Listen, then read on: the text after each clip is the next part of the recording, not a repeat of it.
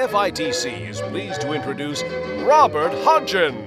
Robert Hodgin is co founder of the Barbarian Group, an incredibly successful digital services and creation company, and is currently the creative director at Bloom Studio. Today, he will give us a glimpse into the depths of his mind and his curiosity as he discusses the invisible forces all around. Please welcome Robert Hodgin.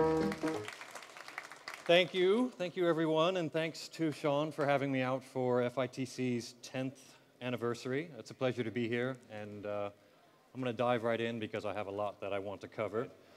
Um, I wanted something like this. I wanted to be able to, to do something magical and Miyazaki-ish. I wanted to be able to point a webcam at a tree and have these unseen creatures appear in the webcam view only. But how do you, how do you draw a depth map for a scene like this? I wasn't going to do it. And you know, as the seasons change or as branches fall off trees, you're going to have to constantly redo the depth map. And this was, you know, back in 2006, 2007, and depth cameras existed, but uh, they were very expensive. So uh, I moved the project onto my roof. Uh, I had a fantastic apartment, and this was my view from the roof. Uh, so I took a really high-res photo, and I brought it into Photoshop and divided it up manually into six distinct layers so that I could then start to inject some content. Um, I, I don't have anything against this building, but it became the source of much of my rage. But I was, you know, I was, I was impressed at how reasonably good these effects looked simply because you can see them, you can see the, the burning fall behind uh, the roof line. So it seemed like it was actually happening. Uh, next, I decided to do something a little less violent. Well, no, it's probably more violent. Sorry. Uh, the slowest moving meteorites ever. But the illusion ends up being pretty sound because these you know, fairly rudimentary particle effects do feel grounded in this space. Poor Fox Plaza. Um, so then the pigeon arrived. I had a window box outside my kitchen, and uh, I didn't use it, and so this pigeon decided that he would take advantage, she would take advantage of it. I'm assuming it was a she. Um, I, I wanted to do something novel because I, you know, I had access to a pigeon that was less than a foot away from my kitchen window. So I put an iSight camera in there on a tripod, uh, covered it to keep it protected from the weather, and then uh, used processing to analyze the incoming web feed so that I could try to locate where the pigeon's head was, where I would place a cute little red hat.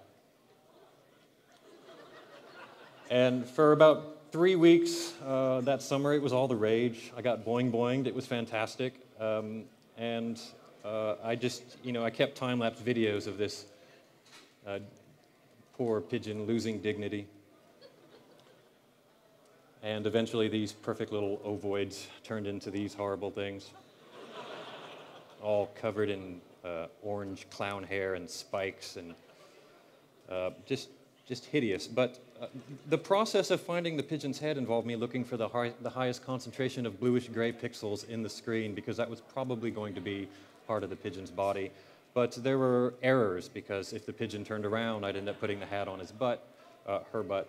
Um, and if I had had, had uh, something like the Kinect, some sort of you know, reasonable depth camera, then I probably could have done some more uh, immersive 3D that would wrap around you know, these forms because I, you know, if I had depth information that was updating in real time, I wouldn't have to worry about drawing depth maps and I would just know where these horrible spawns uh, were situated in space. And then you could steampunk them, you could do whatever you want. Um, so the, uh, I mentioned that Barbarian Group moved to a far shittier view. This was the view that replaced the beautiful view of the Golden Gate Bridge. Um, this nice uh, alleyway slash public urinal.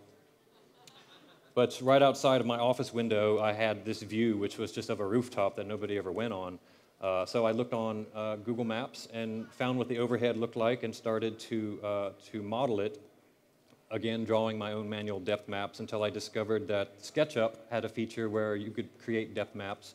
If you could create the model in 3D, you just set a fog from black to white and you could have uh, a fairly accurate depth map. and this is what I ended up with. Uh, I didn't do much with it because shortly after that I ended up leaving the Barbarian group, so uh, I took my camera with me.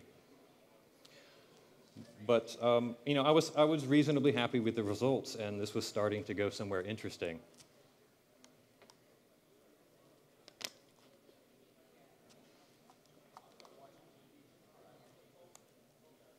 So then the Kinect arrived, and uh, hopefully some of you saw some of the Kinect talks that were here uh, and know a little bit about it. I ended up buying a Kinect because there were suddenly plenty of, of open, source open source libraries available for uh, processing openFrameworks in Cinder. Cinder is the C++ framework that I use for most of my work now. And uh, right out of the box, you know, there's a simple point cloud demo. I'm sure you've seen this effect quite a bit in these last uh, few months. But then uh, Andrew, the person who created uh, the Cinder framework, told me that the library actually supported two Kinects, so I went out and got a second one because I wanted to see what would happen if I had both of them pointing at me. Uh, and unfortunately, there was interference from one Kinect to the other because you're looking at a spray of infrared dots on me. Yeah, it's pretty ridiculous, but a good time was had. So uh, I went back to just using one Kinect because it gave me uh, more predictable results. And then I did this, and this, this project did quite well. Um, I was able to sort of inflate myself in real time. The fact that it works in real time was really impressive to me. And this was uh, an accident. I didn't intend to make this effect. I was trying to find ways to smooth out all the flickering rough edges that you get when you're using the Kinect to analyze depth.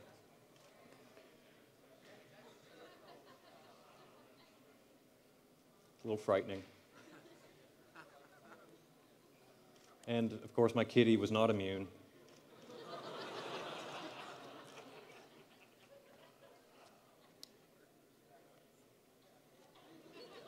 it's a good kitty.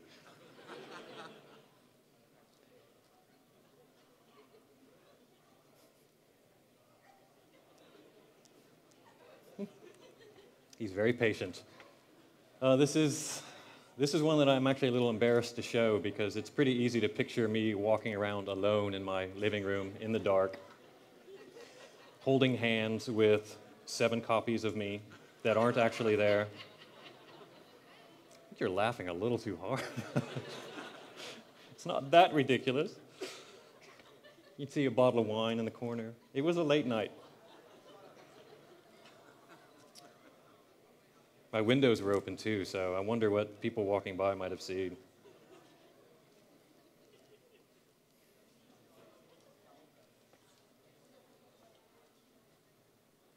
And I'm going to switch videos when the Shiva arms start. Oh. Good for multitasking. So I posted this video on Vimeo, and uh, one of the comments, or actually um, more than one comment, suggested that uh, this would be a good effect for Aphex Twin to use. Because it's a little spooky, and Aphex Twin is known for embracing digital culture. Uh, and much to my surprise, a couple weeks later, the VJ who does the visuals for Aphex Twin contacted me to see if I could supply them with an app that they could run during Aphex Twin's New Year's Eve show in Rome. I was pleased to see he sort of did the same ridiculous gestures that I was doing. But he was doing it in front of crowds of thousands of screaming Romans.